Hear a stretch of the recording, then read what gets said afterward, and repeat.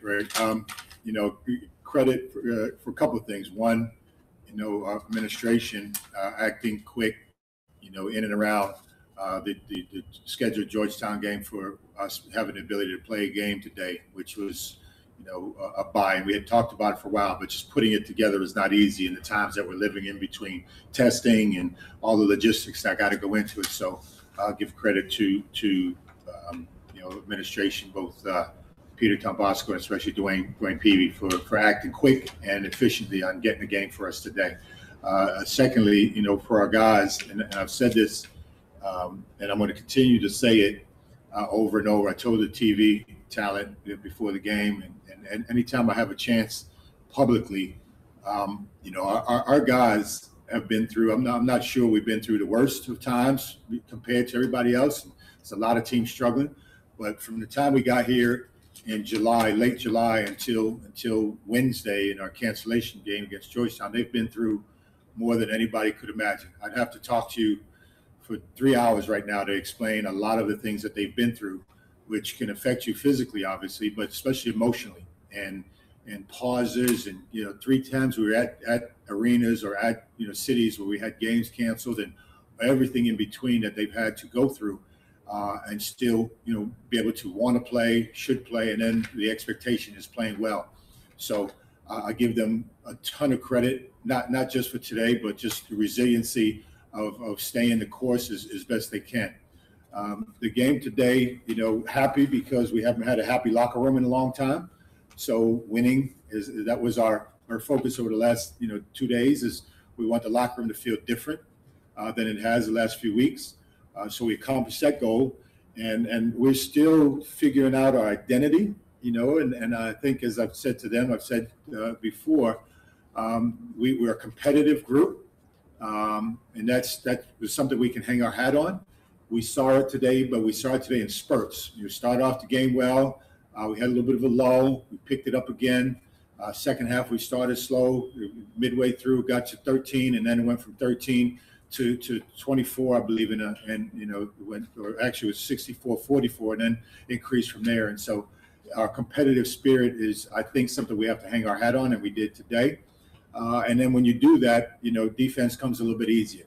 And, and I thought, you know, both individually and collectively, that we played more consistently uh, than we have previously in, on the defense. We still got a lot of things, obviously, to clean up. Uh, but but that was that was you know, collectively something that I was I was happy to see, and so you know I, I, have a lot of respect for the way that Valparaiso plays and was concerned about it. But I thought we did a really good job of handling uh, their their their patient and effective offense. Okay, we'll go with the first question from Steve Newhouse. Go ahead, Steve. Hi, Dave. Uh, given the short notice that you had on this game, uh, what was it like for you in terms of you know the game prep and the scout and everything? You know, uh I, I, guess I could say old school, and that makes me an older older person. But you know, w- where I was uh, most comfortable over a lot of years was that we never really worried about the other team until the last thirty to twenty minutes the day before the game. Uh, scouting has gotten so intricate, you know, analytics and all those kind of things. So you do it at least two, sometimes three days before. Uh, because we've been through so much, we've had a lot of one-day preps. Uh, on uh, on Wednesday, when we found out that we weren't going to play Georgetown, we we rearranged our, our travel plans. Got back home Wednesday night.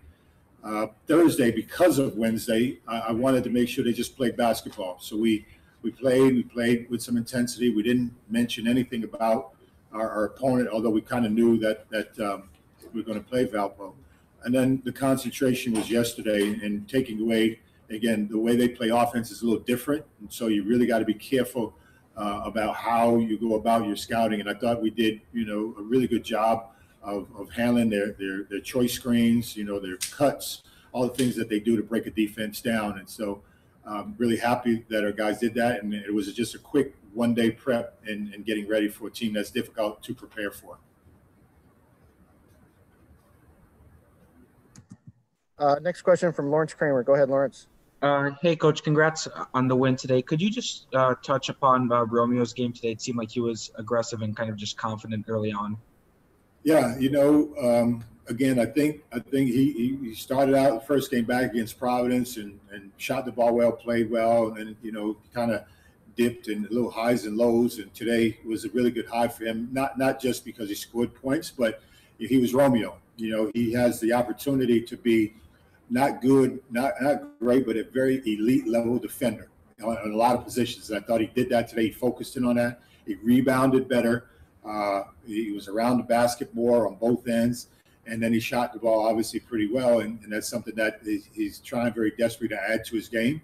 So um, his all-around game was really, really good today, and it's it's something that you know as we get organized more specifically to be able to get he, Javon, uh, and Charlie playing at that level at both ends is, is really what we're trying to seek, and everything else happens from there. And, and uh, you know, he did a really good job of that today, and and uh, give credit for you know his mindset and then his ability to play play at that level. Uh, go ahead, Lawrence, if you got a follow up. Yeah, uh, coach. I think last game, you know, we talked about the, the turnovers and improving on that. Do, were you more pleased uh, today with just the the turnover with the limited amount of turnovers compared to the last game? Well, you know, dep- depends on the half. We had four at halftime, which was really, really good, and we had 11 in the second half because we got, you know, those those gaps that I talked about that we got a little bit uh, careless on all on all things with our intensity, our defensive focus, and then obviously with the ball in our hands. And so, you know, we still got to get better at it. We were 15 assists and and uh, 15 turnovers, so I'd like to have that look better, you know. But but I'm going to be patient because as we continue to do the things that we ask our guys to do on a day-to-day basis. Hopefully, one of those things will be reduction of turnovers on a on a more consistent basis. Uh, any more questions for Coach? Raise your hand real quick here.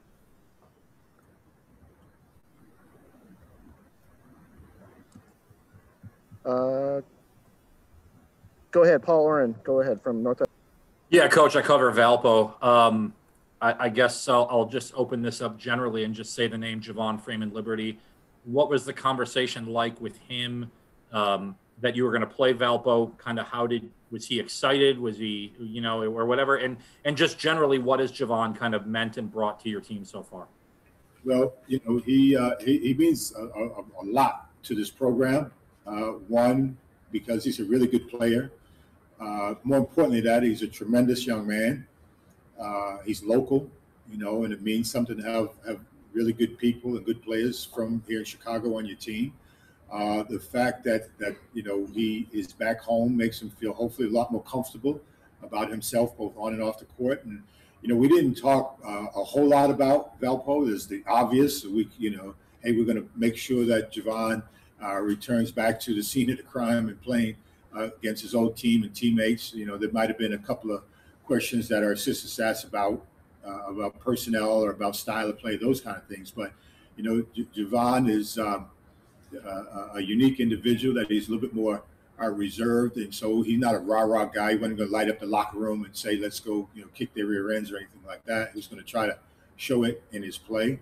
Um, you know, he he usually plays better than he did today, but I'm, I'm I have no question that um, he, he, like everybody else on our team, is coming around to be the guy that I know he can be. He's a he's a frontline guy that you know uh, can do a lot of different things, and happy to have him. Uh, and, and competing against his old team today, I'm sure was a little awkward for him, but at the same point in time, I thought he handled it really, really well. Okay, any other questions for Coach? All right, thanks, Coach. Uh, we got a couple players lined up here. Yep, we're, we're good here, Greg. Whoever you want to have go first, Javon or Romeo. Uh, let's have Javon hop in real quick and take a couple questions with Paul. Thank you very much for that. Thank you. Go ahead, Paul. Javon, good to see you, man. Good to see you too, Paul. What What's this like? You get a, you. I mean, how, how did you find out you were playing Valpo? What was your reaction? Were there texts with the guys back at Valpo? Just kind of was it exciting? Um, I, I mean, it was exciting. Uh, the first time I found, I think it was like right after they postponed our Georgetown game. Uh, sister was like, we might be playing Valparaiso. I'm like, wow. Uh, and then like right after that, on our way to the airport from leaving from Georgetown, uh, Malik called me. He's like, yeah, we playing. I'm like, yeah, I just found out. So I mean, the, it was very exciting.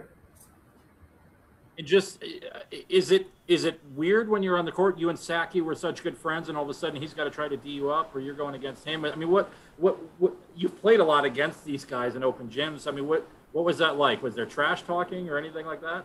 Nothing like that. I mean, it wasn't like nothing. I feel like both teams, both uh, uh, teams, was just didn't got out that I was on another team, so they just had to play. They didn't have to worry about me. It was just all about. It was all about both teams just being on that court playing as hard as you can to get that win. And and now that it's over, I mean, what is it? Is it bragging rights? Kind of what what what goes back with the conversations with you guys? Uh, nothing at all. I mean, if they want to say that, then they can. But it's nothing. We still cool, still family and friends. Very good. And, and my final question is just how is this year going? I know coach just talked about you guys have been up against so much adversity and obstacles and everything, but to find out that you're eligible to play, to get into the flow, just where are you at mentally and, and going into this season? Um, I mean, I'm like we we're all still getting around, still getting to know each other, uh, getting that team chemistry. So I mean, as of right now, we're doing a better job at it. Uh, we're just gonna keep moving forward. Very good. Hey, great to see you, Javon. Thank you. Greg, thank you very much. Yeah, no problem. Uh, any other questions for Javon, for uh, Steve or Lawrence?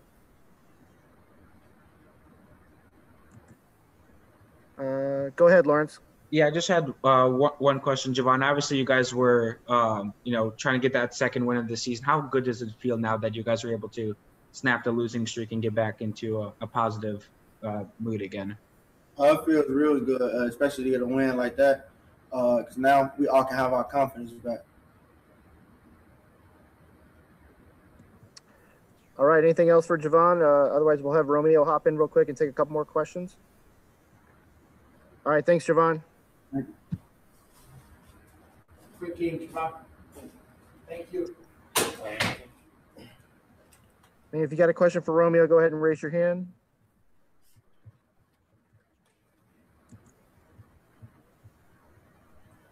All right, Lawrence Kramer from the DePaulia. Go ahead. Uh, hey, Romeo, congrats, congrats on today's win. Um, can you just talk about your performance today and uh, how how good did it feel to get back to winning ways as well? Uh, it felt good, just knowing, like we just looking. Um, for, for me personally, I don't think we were looking bad. I just think, you know, we started off situations, you know, COVID, so we just started off a little late. So I think tonight we just went out and played hard, and had fun. Feel great.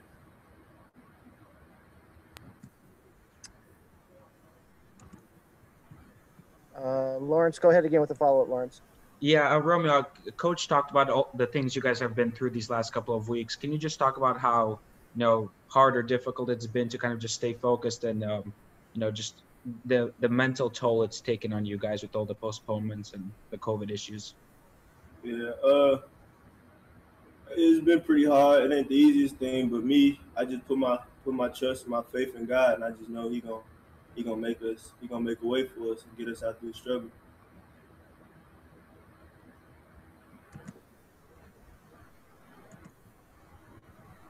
And go ahead, Lawrence. One more. Yeah, just one more question, uh, Romeo. Um, you know, just kind of going off that, you know, how kind of just how how much more are you looking forward to this kind of just the rest of the season and the games coming up? I know it's obviously been difficult, but you know, w- once it's game day, how excited are you guys to play, knowing that it's never certain that the game's going to happen? Yeah. Um, I ain't gonna lie, I done had a few letdowns. A few we every time we go out of town, been like that game get canceled. So I just for me, it been hurting. So I just now I just I just stay ready. I go into every game just hoping we play, and I just be ready to play. So, so do my teammates though. We all just lock in with each other and we got each other back no matter what happened. And another question from Steve Newhouse. Go ahead, Steve. Hey, Romeo, you know, coming off that last game where the team had, you know, so many turnovers, was it a really big focus for you guys coming into this game to, you know, not turn the ball over so much? Um, amongst ourselves, me and the guys, we didn't really practice it too much, but amongst ourselves, we just are we locked in with each other. We real brothers, so we just told each other we keep it we keep it hundred with each other, and we just hold each other accountable. So we all just talk about it and know that the ball precious and each possession is precious. So it just it's just going out there and being strong with it, I don't think the other team is forcing it. I think it's all just on us. So I feel like we picked it up and we and we did what we had to do tonight.